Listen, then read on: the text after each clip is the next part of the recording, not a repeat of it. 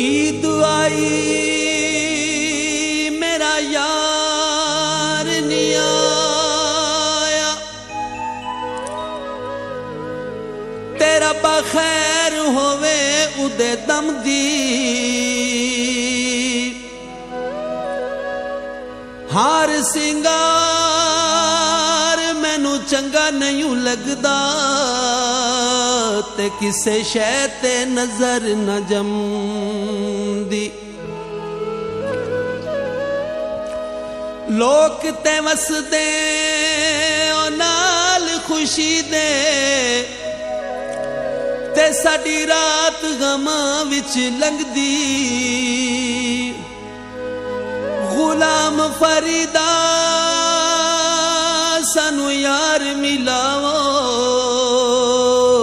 ਨਹੀਂ ਤਾਂ ਈਦ ਸਾਡੇ ਕਿਸ ਕੰਮ ਦੀ?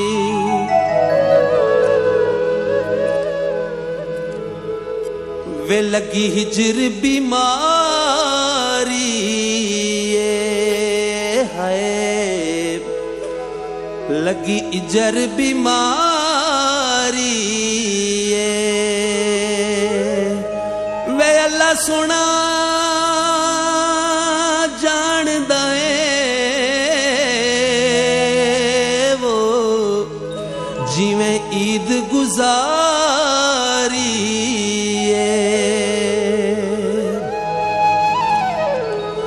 ਵੇ ਈਦ ਦਾ ਚੰਨ ਚੜਿਆ, ਲੋਕੀ ਖੁਸ਼ ਪੇ ਹੁੰਦੇ ਨੇ। ਵੇ ਜਿਨ੍ਹਾਂ ਨਾਲੂ ਯਾਰ ਜੁਦਾ ਬੂਏ ਬੰਦ ਕਰੀ ਰੋਂਦੇ